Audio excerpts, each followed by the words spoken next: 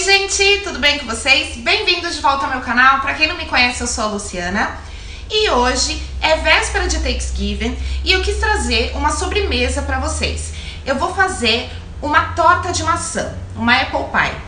E como é final de ano e é uma época que tem muita comemoração, muitas festas, e a gente sempre quer estar tá fazendo uma sobremesa que seja prática, não muito cara. Então eu acho a torta de maçã uma ótima opção. Aqui nos Estados Unidos é uma sobremesa que eles amam e aqui em casa a gente também gosta. Então eu vou fazer para vocês, é super prática, super rápida e eu espero que vocês gostem. Vamos lá?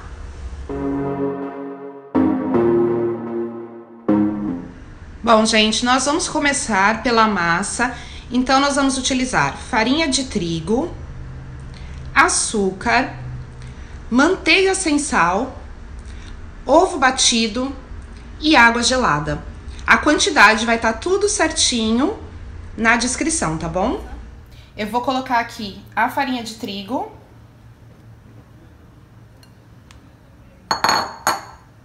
O açúcar.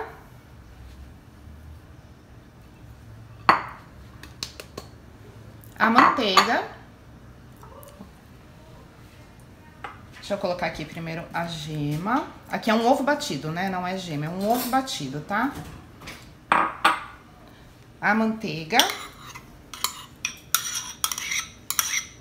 E a gente vai misturar esse, isso daqui, tá? A água a gente vai colocando aos poucos. Então, eu vou colocar aqui só uma colher. E aí, a gente vai vendo, se precisar, a gente coloca mais, tá? Aí, é com a mão mesmo. A manteiga não precisa... É... Ela não precisa sumir toda, tá? Pode ficar uns pedaços de manteiga, não tem problema. A massa só tem que ficar uniforme, uma massa bonita pra gente conseguir trabalhar, tá?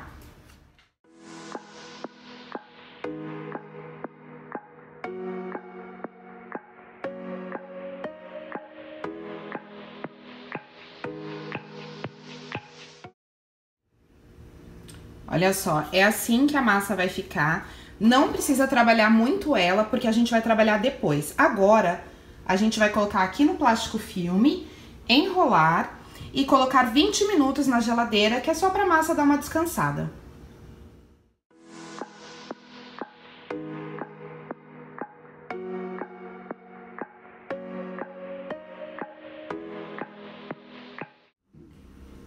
Enquanto a massa está descansando na geladeira, eu vou fazer o recheio. Então, para o recheio, nós vamos usar maçã, açúcar,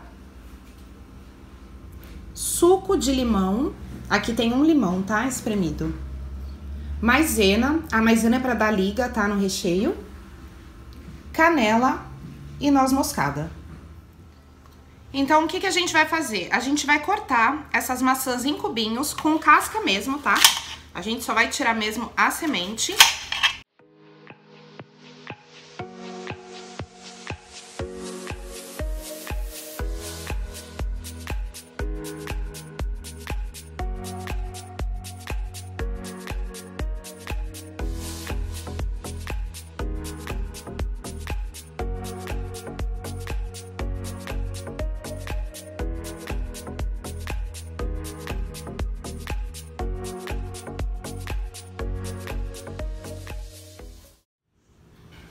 Eu coloquei a maçã aqui, ó, nesse vidro, toda cortadinha. E aí agora a gente vai colocar o suco de limão, o açúcar,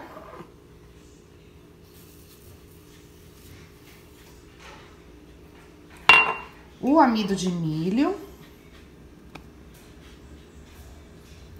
Vou colocar um pouquinho de canela e um pouquinho de noz moscada. E aí é só misturar.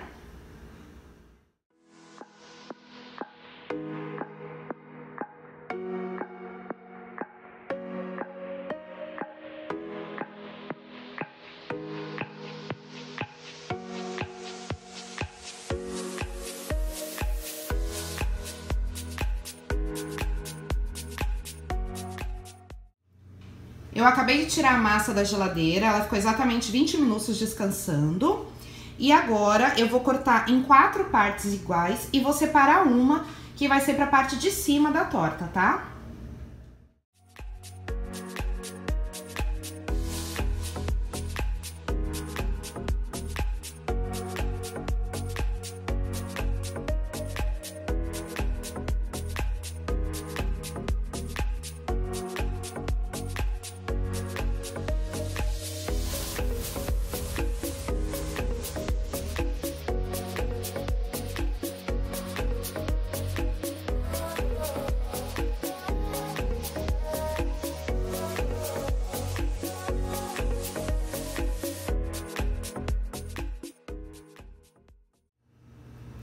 Bom, gente, como vocês viram, eu abri a massa e vou colocar agora, ó, vou forrar essa forma aqui com ela, tá?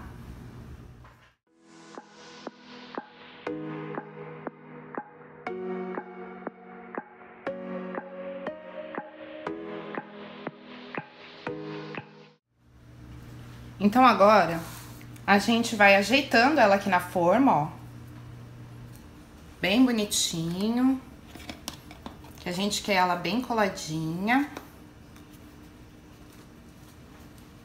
O excesso a gente pode cortar, tá? A gente vem com uma faquinha e tira todo o excesso. Mas aqui a gente vai apertando pra modelar ela, tá?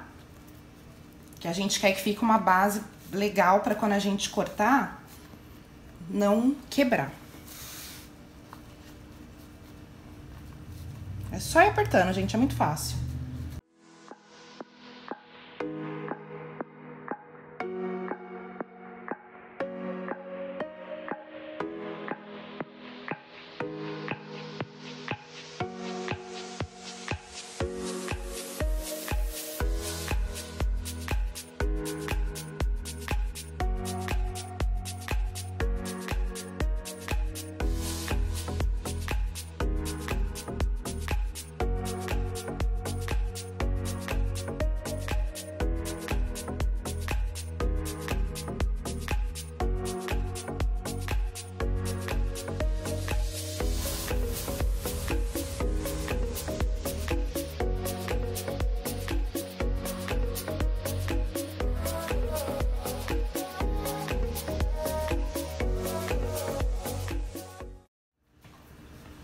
Então agora a gente vai jogar o recheio aqui e vamos começar a preparar as tirinhas que vão em cima, tá?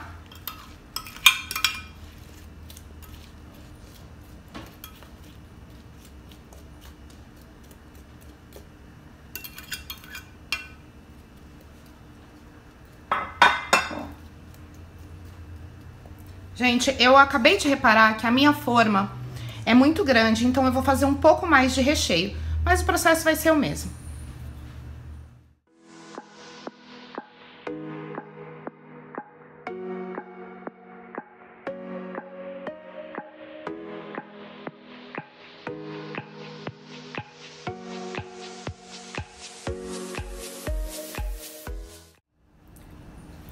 Agora, eu vou abrir essa massinha que sobrou pra gente fazer as tirinhas que vão em cima da torta, tá?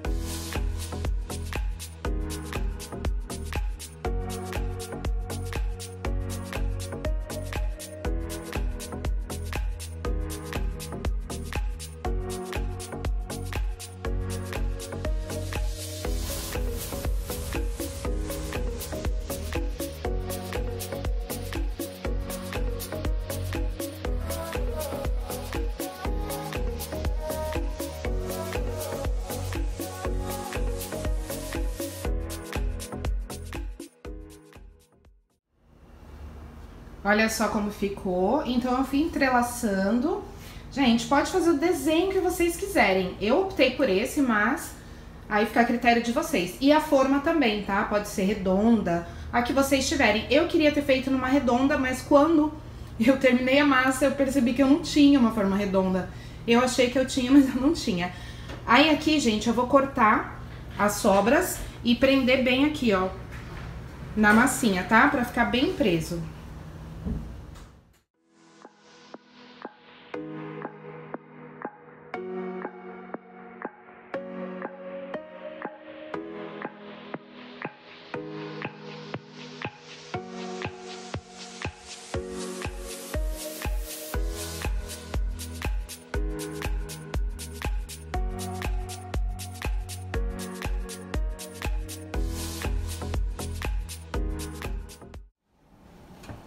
Agora, essa torta vai pro forno pré-aquecido, 180 graus, tá?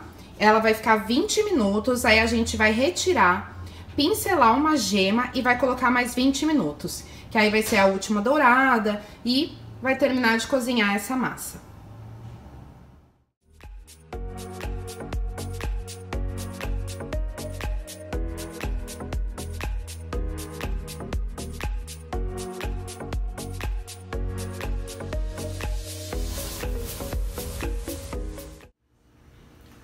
Então agora a torta ficou 20 minutos no forno, eu tirei e vou pincelar uma gema aqui batida.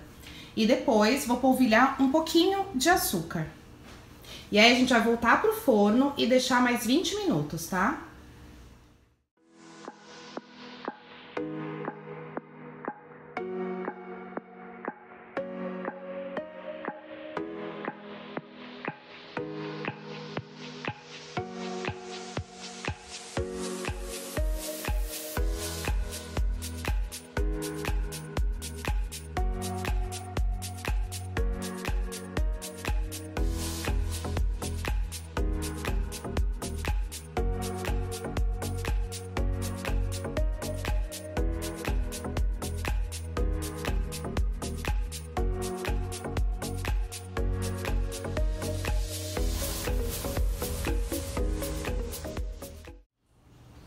Então, depois de 20 minutos a mais no forno, ela deu uma dourada, ficou assim.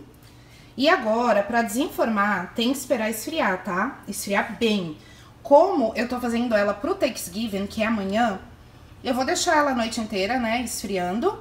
E vou servir ela com sorvete. Eu comprei um sorvete e fica muito bom, gente. E é isso. Eu espero que vocês tenham gostado do vídeo. Beijos e fiquem com Deus!